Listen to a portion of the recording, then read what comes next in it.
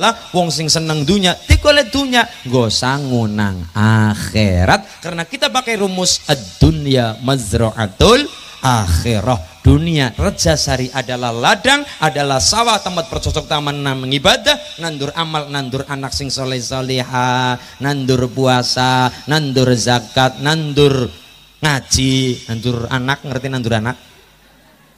Loh, anak sing soleh solihah anak sing soleh solihah sanguni ilmu agama alhamdulillah. Mangkat ngaji barokah nang alam dunia bisa zakat barokah urip nang alam dunia. Guyub rukun karo tangga teparot zaman urip nang alam dunia. Bisa sembayang sholat tahajud sembayang limang waktu dilakoni wajib fardu gara-gara urip nang alam. Ini yang dikatakan apik nang dunia penting dunia. Iya apabila orientasinya tujuannya untuk kepentingan akhirat. Amin Allahumma Kulo matur, kulo diundang ngawas kalau karo wong sugih masyaallah. Dunyane di belara-belara pom bensin, belara-belara apa-apa dadi duit. Wong nguyu beda dadi duit. Gawe pom bensin, anak toilet bayar. Ya wong sugih apa-apa dadi duit. Kula lagi jagongan, bujang ora apa-apa jagongan karo wong sing bleget dunyane. Caluke ngilmune. Iya. Pak Haji, ya Mas Ulin, kula takon, kamu nanya. kamu bertanya-tanya, kamu nanya Jane ya ora apa-apa Mas, kamu nanya kamu nanya, tapi nyong khawatir. Bocah nang sekolahan takon ibu guru, "Ini apa deh di papan tulis?" Kamu nanya. Diulang nang bu guru, nang kana kayak nang madrasah. Kamu nanya, kamu bertanya-tanya, ini cukuran apa? Kamu nanya. Hmm. Nyong khawatir, nek bendina kamu nanya sindrom, kamu nanya, kamu nanya nyong khawatir, Bu. Bok besok wonge mati nang alam kubur takon nih malaikat. Man robuka. Kamu nanya. Jejak cangkem nang malaikat kowe wong kaya kuwi apa sih? Iya, kamu nanya, kamu nanya. Pak Haji, nggih Mas Ulin. Kula arep takon mumpung kula ketemu jenengan, mumpung ya wong genau ketemu wong suki tak takoni resepnya apa. Carane wong suki kepripun Pak Kiai? Anu Pak Haji. Kayak Mas, kula ngomong nggih. Ya. Kula nek ditakoni carane wong suki pasti jawabannya kerja, kerja dan kerja niku wong biasa kados kulo kerja kerja dan kerja. Begitu kulo langsung takon sumber wong suki napa Pak Haji? Dadi wong suki carane kepriwe patang perkara Mas Ulin. Siji. Ndonga sing dadekna sugih bukan pekerjaan tapi sing dadekna kita kaya adalah Gusti Allah siang malam kerja urung tentu suki. Karena sing marai suki adalah Gusti Allah. Kerja nggo ngapa? Kerja nggo serana sarana kita. Ngolet ridane Gusti Allah ngibadah. Allahumma. Ternyata satu resep wong suki gampang kepenak rezekine ndonga. Kon nyogrok langit kon nyogrok langit kon disokrok lantaran sholat tahajud. Nyuwun minta sama Gusti Allah. Pekerjaan orang marai suki sing marai suki adalah ridane Gusti. Nek kon sugih mangsa ora nek urung mangsa iya. Kita kerja siang malam dalam rangka golet ridane Gusti Allah ibadah. Wa minal laili fatahajjat bihi nafilatan lak عسى أن يبعثك ربك مقاما محمودا nyuwun tahajud dilakoni nyuwun karo Gusti Allah sapa wong nyuning tengah dalu gampang dongan dijabah karo Gusti tuha dilakoni lha kula takon Pak Gece ya yang malon ya kathah masulin diantarane wakingah diwaca pirang suwene pirang jenengan rutin tiap hari ora pedot waking lah ora suwe. Pinten? Telung tahun. Jenengan nembe rong dina wis pamer.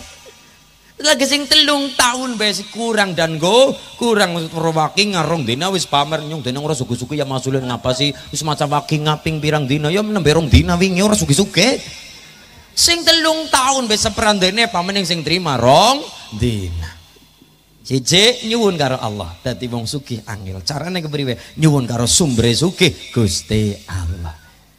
Niku Pak Haji, iya. Donga sokrok langit, tapi jangan lupa wis sokrok langit teh dipacul bumine. Nomor dua usaha. Kanjeng Nabi piyayi sing di mesti dijabat dongane. Apakah Kanjeng Nabi nyepelakna itu? Mboten. Setiap keingin punya apa Kanjeng Nabi macul tang Madinah dagang tang Mekah kanjeng Nabi. Tetap ngolet ridane Allah lantaran fisik nggak suri tauladan donga penting pertama ternyata donga dulu. Tidak ada yang mampu menembus benteng takdir kecuali doa. Nyuwun karo Allah. Nomor dua tisrana nih karo usaha. Macul bumi orang kutu petani pedagang. Dadi wali kota dadi dewan usahane karo pulpen. Lah kita wong desa karo pacul karo arit dagang pop es pop mie popcorn pongdut. Hmm.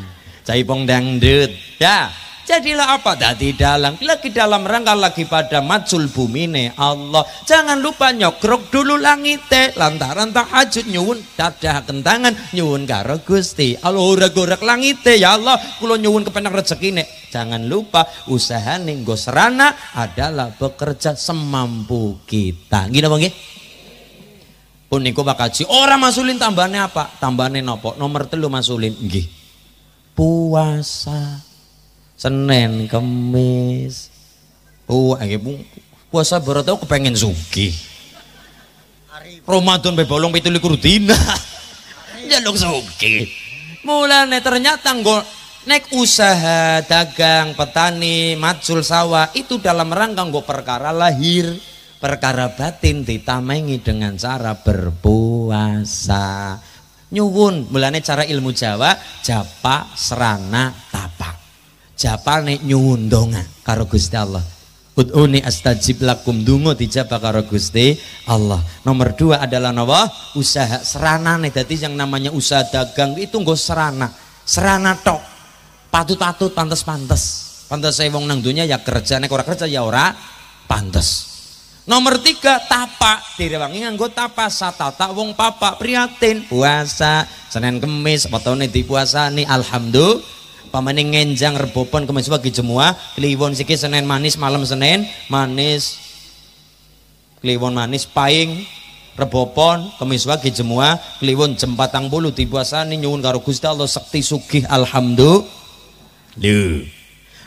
Cekap niku bakaji ora masulin tambane siji. Napa nomor papat nggo ngimbangi puasa. Napa niku sedekah rumusnya apa cara wong zaman kuna? Luwih teguh luwih kuat pagar mangkok daripada pagar tembok.